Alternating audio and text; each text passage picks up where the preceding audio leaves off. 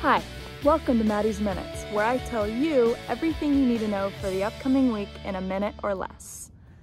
With Overseed quickly approaching, I'd like to take some time and answer a few frequently asked questions. What kind of grass do we plant on the golf course during the winter? On fairways, rough, and tees, we'll plant ryegrass, and on the greens, we'll plant Poa trivialis. When can we drive our carts on the golf course? Well, we need to give the ryegrass ample time to mature and establish, and we leave the date open-ended, but I promise we'll get carts out as soon as possible. Since the golf course is closed, no problem bringing my dog out for a walk or going for a morning jog, right?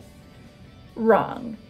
During overseed, we have lots of heavy equipment driving around the golf course, irrigation running constantly, and fragile seedlings needing time to grow. So we ask that all traffic keep off the golf course.